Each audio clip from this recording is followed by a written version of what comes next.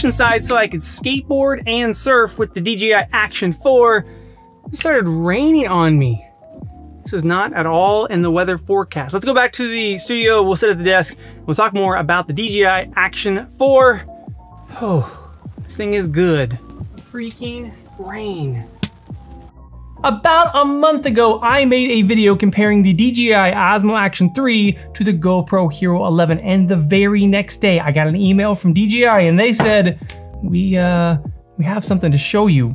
And it's this, the DJI Osmo Action 4. One year later, DJI is coming out with the next iteration of their camera and real good. I've been testing this thing out for the past few weeks, just putting it through its paces, battery testing it, heat testing it, freeze testing it, doing everything that I could to just push this camera to the limits. And it it held up pretty, pretty well. We'll talk more about the results as we go through the video, but by the end of this video, you will know everything that is new on the DJI Osmo Action 4. This video is sponsored by DJI, so this isn't like a critical review about this camera. It's more of an introduction to the camera, all the new features, everything, everything that is new on the DJI Osmo Action 4. And if you are wondering how the Action 4 stacks up against its main competitor, the GoPro Hero 11, I will have a video in a couple of days comparing these two cameras. Not sponsored by DJI or GoPro, it will just be a, a very critical look at both cameras and uh, yeah, just how they stack up against each other. Today's video,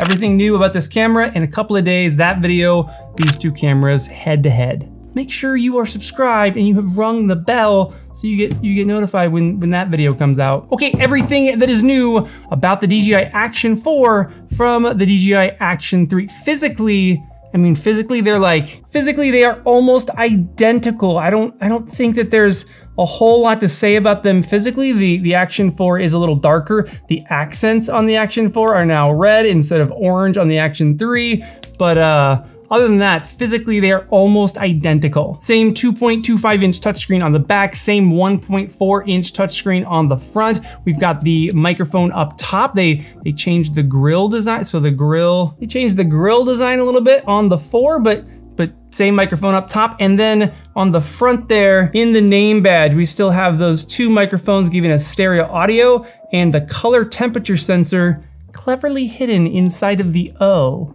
When they did that on the Action 3, I, I was very, very impressed that they used their own name to hide the color temperature sensor.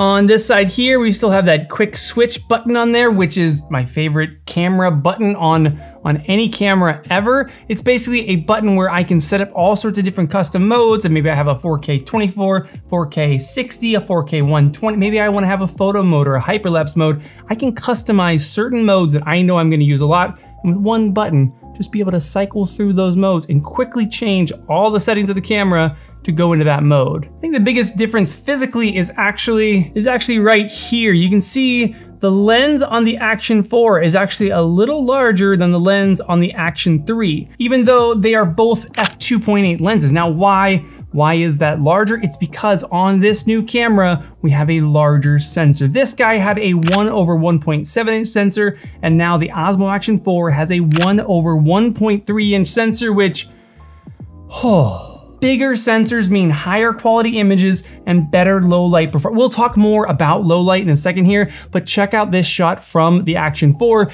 in a totally dark parking garage that normally would look pretty terrible on any other action camera, but this guy ah, it's looking pretty dang good. We'll get back to low light performance in a minute here, but because we have a larger lens on there, that does mean that these new lens covers are a different thread size than the Osmo Action 3. So if you have lens covers, or maybe you have filters for the Osmo Action 3, you have ND filters or CPL filters, any sort of cover that you have for that one, it will not screw on to the Osmo Action 4. So your old lens covers will not fit onto the Action 4, but your old batteries will. We're using the same exact 1770 milliamp battery, and this thing uh, is giving us about the same performance on the new camera as well. Maxing out at what they say 160 minutes, but, but 160 minutes is in like lab conditions. So on both of these cameras with both screens on, which is how I shoot them, at 24 frames a second and about 75 degrees Fahrenheit, I see about 110 to 115 minutes on one battery. But because we have that same battery and that same triple charger, we can fast charge these batteries batteries from zero to 80% in 18 minutes, and then to get 100%, it takes us 50 minutes. So 50 minutes from zero to 100 but 18 minutes from zero to 80%. And again, they say you're gonna get about 120 minutes out of that. I've been getting about 100 minutes with an 18 minute charge. I don't know how they do fast charging these days, but I'm real happy they do. Next up, you might be asking, can you get this thing to overheat? How does it do in the heat and how does it do in the cold? I saw almost identical performance with this camera and the Osmo Action 3. I was never able to get it to overheat in 4K 24, 4K 60, 4K 120. It never overheated. I would always have a battery die. And then also just as reliable as this guy in freezing temperatures. That was a big problem that I've had with action cameras in the past is you go snowboarding, you go do something in cold weather and your dang action camera will not turn on. But I've, I've never had that issue with the Osmo Action 3 or Osmo Action 4. Both of them I've put into the freezer. I've turned the freezer down as cold as it goes, and they, they both just work fine. Then as for waterproofability, the Osmo Action 3 was waterproof down to 16 meters, and now the Osmo Action 4 is waterproof down to 18 meters or 60 feet.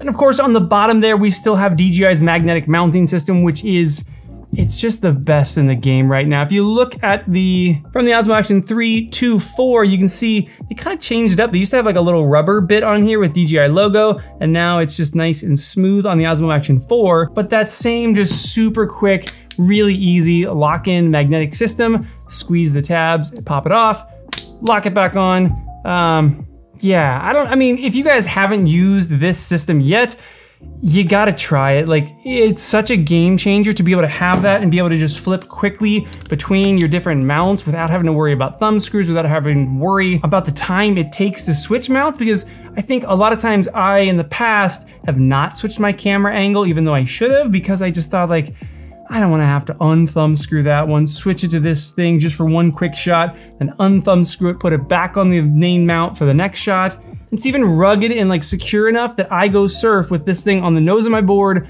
just on a magnetic mount. I was very nervous the first time I did it because I thought to myself like, wow, is this gonna hold in like big surf? But I've taken it out there a ton, the Osmo Action 3 and now the Osmo Action 4, and that magnetic mount works perfect. And now jumping onto the footage from the Osmo Action 4, and again, a larger sensor in there, that 1 over 1.3 inch sensor, but also we now have 10-bit recording in all modes. So if you're shooting in HEVC codec, you can shoot in normal mode or you can shoot in D-Log and you will record 10-bit footage out of this camera. And side by side with the Action 3, you can see how much of a difference there is jumping from a 1 over 1.7 inch sensor and 8-bit recording to a 1 over 1.3 inch sensor and 10-bit recording. All right, here is the DJI Action 3 versus Action 4. You can see that with that larger sensor, there's way more detail in the image. Overall, just image quality is going to jump. Having that larger sensor on there, you can just see between the Action 3, I thought was already looking awesome, but now, now man, with the Action 4, even on this little tiny screen, I can see like, that looks really good. Again, if you want to see the comparison between the Osmo Action 4 and GoPro Hero 11 footage, uh, in a couple of days. Check that video. Or maybe you're watching this a couple of days later and that video is already live on the channel. If it is, click up there and I'll, I'll link it. Also on footage, we still have that super wide field of view at 155 degrees. We still have 4K 120 frames a second on this camera and we have a new setting called image adjustment where I can go in there and I can customize the sharpening and I can customize the noise reduction in my image. So there's two presets. There is a default preset and a portrait preset, but if I tap on custom, we have low, medium, and high sharpness, and we have low, medium, and high noise reduction. So you can completely take control of your image and customize that all in. I've just been using the default preset, and honestly, it's looked pretty good. And lastly, in our settings here, we have a new low light image adjustment mode that you can set to off or auto. And when it's in auto, it says, when enabled, camera will detect low light environment automatically and reduce noise. Only available for 30 frames a second or lower frame rate. And it's not available in ultra wide field of view for some reason. So you have to be in wide field of view or more narrow, and you have to be in 30 frames a second or lower. So 30 frames a second, 25 or 24 frames per second. But when enabled, that will automatically shoot to a, a low light scenario. The camera knows to stabilize and to adjust the noise reduction to a low light shot, just cleaning up your shot automatically in camera. I had the Osmo Action 3 and the Osmo Action 4 on a pole together and I went skateboarding into an underground parking lot, so super low light, like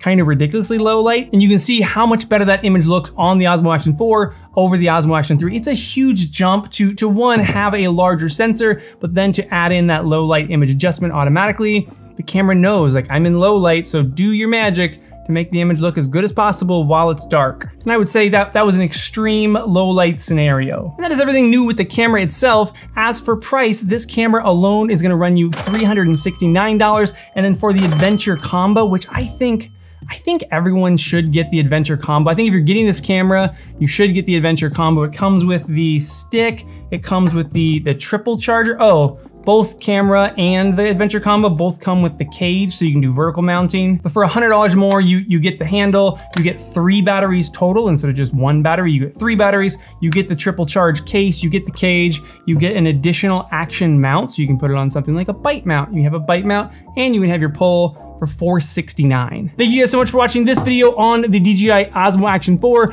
Again, ring that bell so you see when the comparison video comes, and I will see you soon.